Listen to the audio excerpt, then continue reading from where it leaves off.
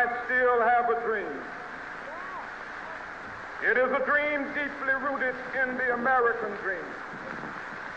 I have a dream that one day this nation will rise up, live out the true meaning of its creed. We hold these truths to be self-evident that all men are created equal. Se trata de uno de los discursos más famosos de la historia. I have a dream. Yo tengo un sueño. Fueron cuatro palabras que simbraron desde lo más profundo los andamios de la sociedad estadounidense. A pesar de ser una de las naciones defensoras de la libertad, en los Estados Unidos de Norteamérica la segregación racial fue una dura realidad.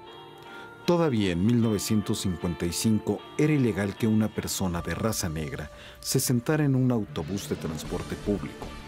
Al negarse a ceder su asiento a un hombre de raza blanca, Rose Parks fue arrestada en Montgomery, Alabama. La mujer recibió acusaciones por conducta desordenada y fue encarcelada. Debió ir a prisión por negarse a ceder su asiento a un varón de raza blanca. Las protestas se dejaron venir. Miles de personas realizaron un boicot contra la compañía de autobuses.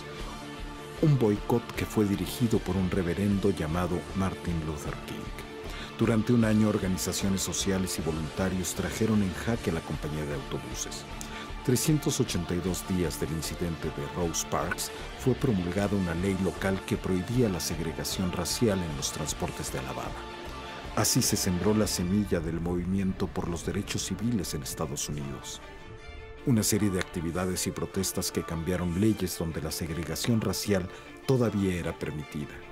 El reverendo Martin Luther King fue el símbolo por excelencia de este movimiento y su discurso promulgado el 28 de agosto de 1963 ocupó un lugar permanente en la historia. Five score years ago,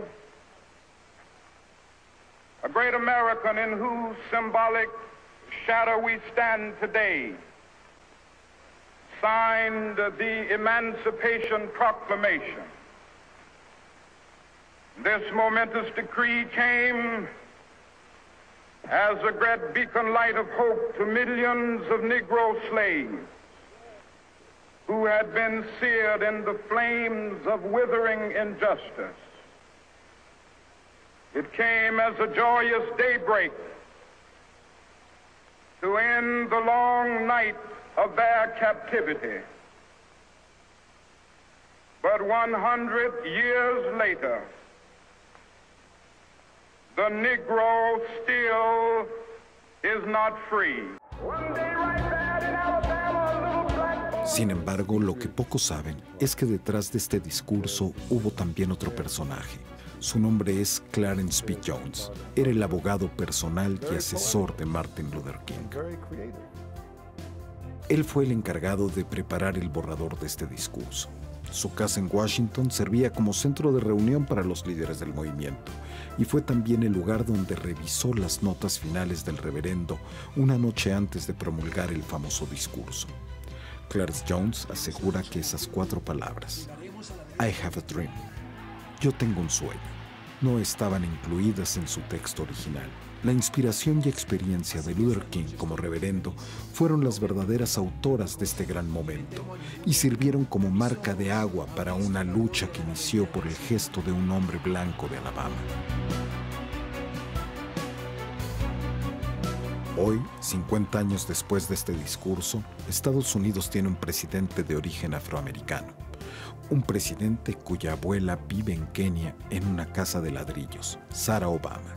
Hoy Barack Obama recordó personalmente a Martin Luther King. Dijo que la promesa de los padres fundadores de crear una nación donde todos sean iguales sigue inconclusa. En la ceremonia conmemorativa estuvieron acompañando a Barack Obama familiares de Luther King y el expresidente Bill Clinton, quien también fungió como orador. Obama aprovechó la oportunidad para hablar de la necesidad de trabajar para lograr la igualdad económica. De nada sirve, dijo, que haya personas que puedan acceder a una cafetería integrada, pero no puedan comprar alimentos. el presidente Obama hizo referencias a la necesidad de contar con más empleos y mejores salarios, y una serie de alegorías al discurso que hace 50 años hoy seguimos recordando. Alegorías y palabras que difícilmente serán superadas.